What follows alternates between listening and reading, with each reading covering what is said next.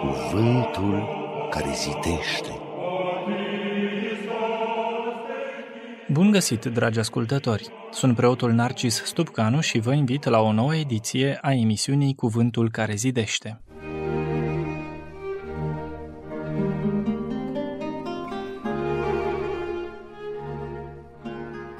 Dragi ascultători, astăzi vom cerceta împreună paginile Filocaliei întâi pentru a descoperi alături de scriitorul bisericesc Evagrie Ponticul cum să ne rugăm. Rămâneți alături de noi!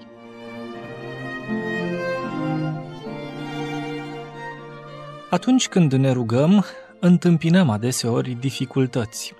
Fie ne concentrăm pe moment, apoi ne lăsăm pradă gândurilor și problemelor de zi cu zi, fie se abate asupra noastră o moleșeală, sau poate citim rugăciunile pe care ni le-am propus, însă fără prea multă implicare și am putea spune poate superficial. Toate aceste stări, dragi ascultători, se manifestă adeseori la vreme de rugăciune. Sfinții părinți însă și scriitorii bisericești atestă în scrierile lor chiar și alte piedici care se pot ivi în calea rugăciunii. Astăzi vă propun însă să ne abatem atenția asupra scrierilor cuviosului Evagrie Ponticul. Evagrie Ponticul a trăit în secolul de aur al creștinismului, între anii 345 și 399. Ea a avut ca învățători pe Sfinții Vasile cel Mare, Grigorie de Nisa și Grigorie Teologul, pentru ca, în ultima parte a vieții, să culeagă toate învățăturile duhovnicești de la Sfântul Macarie cel Mare, alături de care a trăit ceva vreme în pustie. În scrierile lui, cuviosul Evagrie Ponticul vorbește și despre rugăciune, despre felul în care trebuie să ne rugăm și despre ce trebuie să ne ferim pentru a putea înălța lui Dumnezeu o rugăciune curată. Iată ce spunea el. Nu te ruga numai împlinind formele din afară, ci îndreaptă-ți mintea spre simțirea rugăciunii duhovnicești cu multă frică.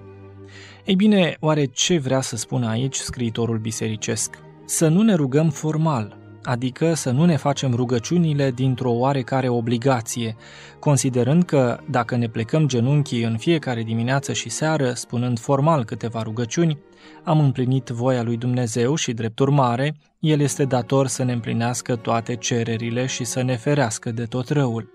Ci rugăciunea trebuie să fie simțită în minte și în inimă, de multe ori se amintește în cărțile patristice de coborârea minții în inimă atunci când ne rugăm. Ei bine, acest lucru înseamnă că trebuie să simțim fiecare cuvânt. Rugăciunea noastră ar trebui să fie deci în cuget și în simțire.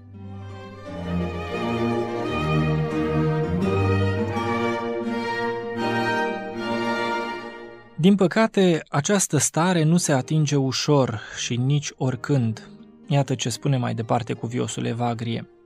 Uneori, stând la rugăciune, te vei ruga dintr-o dată bine. Alteori, chiar ostenindu-te, nu vei ajunge la țintă. Ca să ceri și mai mult și primind să ai un câștig care nu-ți mai poate fi răpit. Apropiindu-se îngerul, se depărtează grămadă toți cei ce ne tulbură și mintea se află în multă odihnă, rugându-se curat. Alteori, amenințându-ne obișnuitul război, mintea se luptă și nu poate să se liniștească, deoarece s-a amestecat mai înainte cu diferite patimi. Totuși, cerând și mai mult, va afla, căci celui ce bate, îi se va deschide.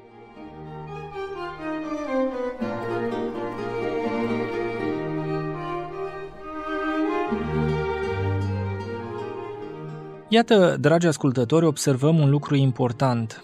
Atunci când se întâmplă să ne putem ruga în tihnă și să ne concentrăm asupra rugăciunii, Îngerul păzitor este cel care ne păzește mintea și inima de atacurile diavolului. Deci, dacă simțim vreodată această stare de liniște în timpul rugăciunii, să nu ne gândim că am ajuns la nu știu ce înălțime duhovnicească și că am dobândit darul rugăciunii, ci trebuie să mulțumim Îngerului păzitor, care ne-a păzit de gândurile care ne asaltează de obicei.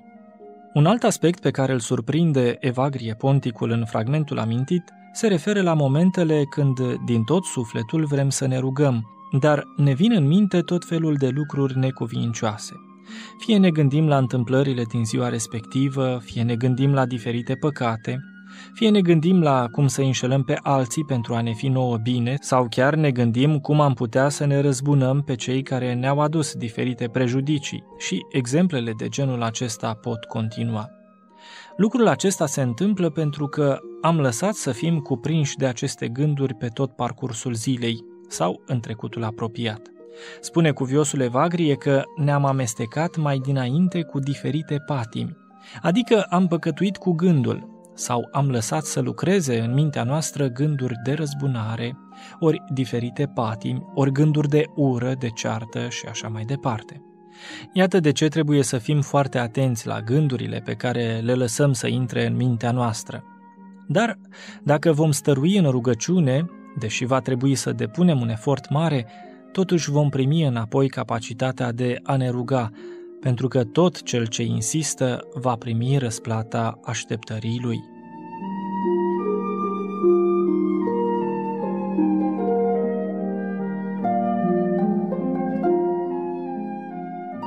Bineînțeles că vă veți întreba cum să scăpăm de aceste gânduri care ne invadează mintea în timpul rugăciunii.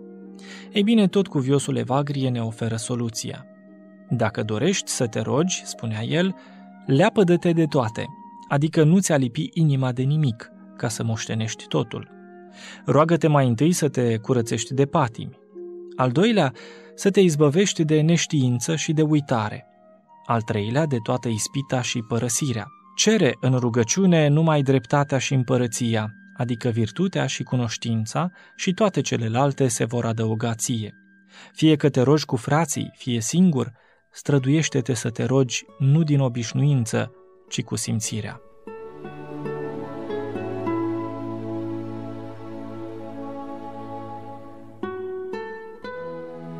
Analizând cuvintele cuviosului Evagrie, observăm, dragi ascultători, că, în primul rând, ca să ne putem ruga, trebuie să scăpăm de patimi. Ele ne afectează în primul rând mintea, apoi trăirea, ajungând până la urmă să altereze chipul lui Dumnezeu din noi.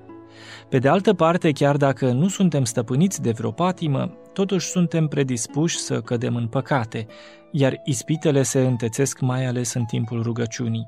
De aceea este foarte important să ne reculegem înainte de a ne ruga, să petrecem câteva clipe în liniște, gândindu-ne numai la Dumnezeu și dând la o parte toate grijile și problemele de peste zi.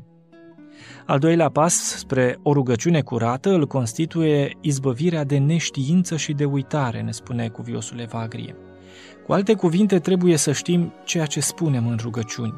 Dacă le citim dintr-o carte de rugăciuni, trebuie să știm ceea ce spunem și nu să lecturăm niște fragmente care pentru noi nu au sens. De aceea trebuie să cercetăm aceste rugăciuni și să cunoaștem cât mai multe aspecte despre ceea ce trebuie să cerem în rugăciunile noastre și să ne aducem aminte de cuvintele Mântuitorului pe care și cuviosul Evagrie Ponticul le amintea. Căutați mai întâi împărăția cerurilor și toate celelalte se vor adăuga vouă.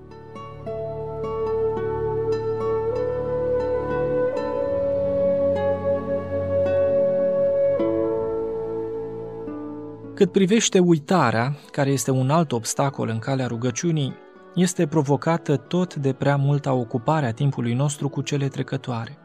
Uneori suntem așa de obosiți încât uităm să vorbim cu Dumnezeu și preferăm să ne prăbușim în pat. Alteori avem preocupări diverse. Preferăm să vizionăm un film în loc să ne facem timp pentru relația noastră cu Dumnezeu. De parcă nu Dumnezeu ne-a ajutat să le facem pe toate, de parcă noi suntem cei care ne rezolvăm toate problemele. Îl scoatem în modul acesta pe Dumnezeu din viața noastră cu uitarea, iar când ne aducem aminte, este prea târziu. Ultimul pas pe care trebuie să-l facem pentru o rugăciune curată este păzirea de toată ispita, lucru care se poate realiza prin priveghere, așa cum ne spune și Mântuitorul, privegheați și vă rugați ca să nu intrați în ispită. Cam acestea ar fi, dragi ascultători, câteva criterii pe care le-am învățat astăzi de la cuviosul Evagrie Ponticul pentru a reuși să purtăm un dialog cu Dumnezeu prin rugăciune. Dacă ne vom ruga așa, vom reuși să facem din rugăciunile noastre cu adevărat o hrană duhovnicească.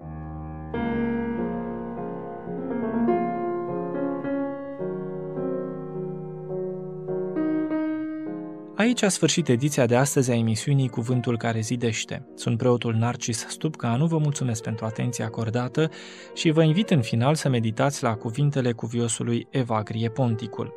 Rugăciunea este urcușul minții spre Dumnezeu.